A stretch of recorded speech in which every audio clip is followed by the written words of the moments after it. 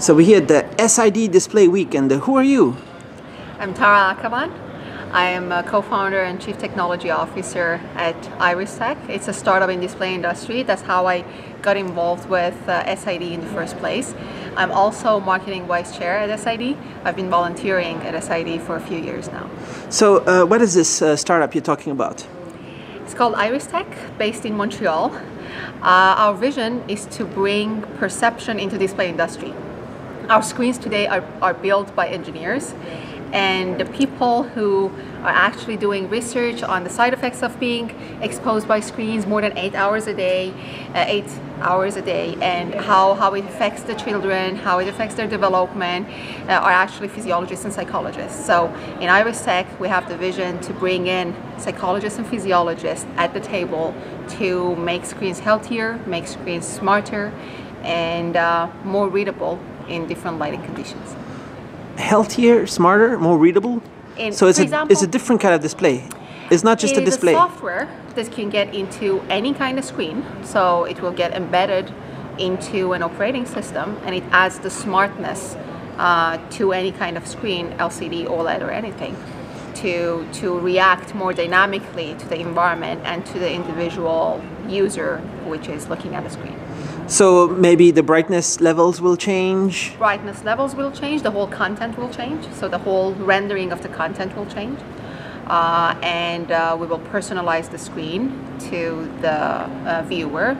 As an example, when we age, our eyes age with us and uh, we lose the sensitivity to contrast massively, our color perception changes, and that is not taken into account in any of the screens. So uh, that's so what we do. Is it software? Is it It's in the driver of the display or is it just in It's the OS? It's, it's a software that can get integrated into driver level, but now we are integrating it into an operating system level or an app level.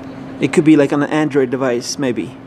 Could be, yeah. Yeah. So are you launching? Is it launch? Is it what? What is the stage right yes, now? Yes, uh, we do have customers. Uh, we are, uh, since I moved from Vienna uh, to Montreal to start this company, it has been three years, uh, four years, sorry. Uh, I moved in May 2014 from Vienna University of Technology when I was, where I was doing my PhD to Montreal to start this company.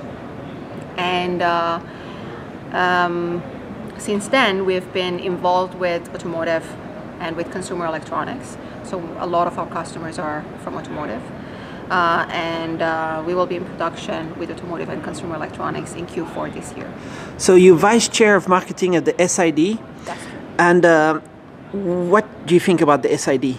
And why is it? What What do you think about it? So, SID is an amazing, very diverse event. So, it's the only event that I know which is focused on displays. You can find anything about displays there, and then you can learn about marketing, business, tech, um, science, uh, exhibition. Uh, so it's, it's very diverse. It's actually the booklet, if you look at it, is, is too much events happening in parallel that there's no way you can cover it all. So that's an amazing thing. Um, for me, I started with publishing papers here a few years ago. Uh, I attended the exhibition with my startup. Then I started volunteering and helping with SID because I think what they lack is younger generation and definitely women. It's a very um, conventional male-oriented society. It's very old, right? It's from the 50s. Exactly, that is it's very old, and um, that's why I, I decided to volunteer. So that and then we started the Women in Tech last year and this year for the second time, to to bring that energy and that diversity and hopefully involve younger generation in volunteering and stepping up and getting involved in, in SID. What was uh, the paper you were publishing when you first joined? Well, we we're publishing a few papers every year. This year we are uh, we are presenting. Our team is presenting as well. Um, this year we're presenting a paper on uh, compensation for color blindness. So it's a solution for screens to to help colorblind to distinguish. Uh, between colors that they cannot uh, usually see, so that they can continue a task like like following a map or something You have a solution. we do have a perceptual solution to compensate for that. So we cannot make them see those colors that they cannot mm, biologically see, but we can make it distinguishable enough so that they can uh, they Maybe can contrast something. task. like a lot of things. Yeah. I'm not gonna get Yeah. into the IP. Sorry, sorry. But how about the how about this? Uh, um, the women in tech you were just moderating. Right. Uh, how did that go? Uh, I think it went great. Uh, well, I shouldn't be the one which says uh, it went People great. can watch the video online. Definitely. There'll be a link. So, so uh, I definitely enjoyed it myself. That's what I can say. And uh, there were amazing panelists uh, on the panel. Uh, we had uh, cool discussions. We we went, I think, 30 minutes uh, over. Uh, the hour that we had, uh, we had a lot of questions from the audience. I had to actually cut it at the end because we were running uh, so much behind.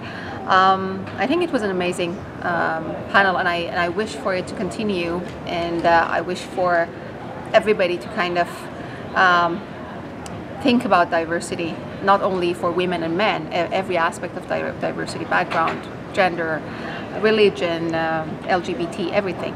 And one amazing thing about it was uh, most of the attendees were men. That, that's great. And uh, SID definitely needs to get upgraded because it will make SID better, right? And th- that means the future displays will be better. Exactly, exactly. Not only displays the future of the tech, like everywhere we need diversity because uh, because when things are diverse, it's proven that we will get better results. So it's not just for the sake of having women or having LGBT or having different religions on the table. It's the fact that they have different um, mindset, they have different point of views, and the diversity in discussions always help with innovation, help with changing, and help with, with moving forward with uh, new technologies.